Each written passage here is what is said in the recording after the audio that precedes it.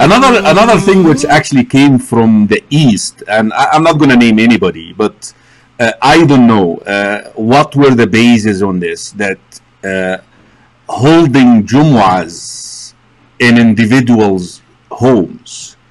What is your take on this? Like every home have a Jumu'ah. Uh, What I mean, Okay. all right. Okay. First of all, I'll tell you about what the scholars say. Okay. In the lands of Muslims, they say that the Jumu'ah must be delegated by the Imam al-Akbar, the Wali al-Amr. So the president, the king, the Amir, he's the one who authorizes all masjids to Jumu'ah. And he bans the masjids he thinks that they're qualified. So in the land of Islam, it's the delegation of the Imam. If the Imam in this country says no Jumu'ah and pray home, they must pray Dhuhr home. But Sheikh, I have 10 men in my family and our house is a big villa. So we can pray Jumu'ah. You should not pray Jumu'ah because even the issue of is it a must to be prayed in a masjid or not is an issue of dispute.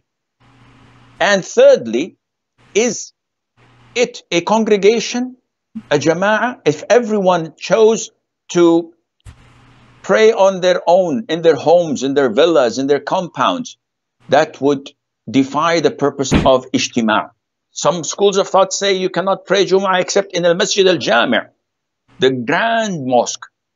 Nowadays, it's, mashallah, all different small mosques that pray Jumu'ah. But this is when it comes to a Muslim country. Abide by the Muslim ruler. When it comes to I, a I'm sorry. country, I, I'm sorry, uh, uh, Sheikh Asim. Uh, so you said if the ten wanna pray Jumu'ah and Al Imam Al Akbar said uh, no Jumu'ah, No. pray Dhuhr. They you said they cannot or they can. They cannot? they can pray, they can pray Dhuhr. But not but Jumu'ah. not. Jazakallah khair. Okay. No Jumu'ah. Okay. Jazakallah khair. So now, we move now to non-Muslim countries. Okay. We talk about India, talk about Europe, talk about America.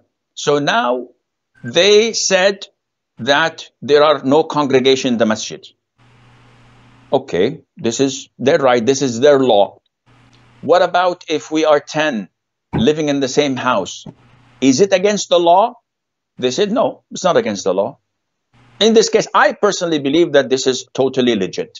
If you are three men and above, one of you be the imam, the two, they listen to the khutbah, and then you can pray Jum'ah without any problem. But it, what we see in some countries where it is illegal to pray in the masjid and they defy the instructions and they go and pray in the masjid and the non-Muslims consider this an act of aggression right. and they attack the Muslims because of that. Mhm.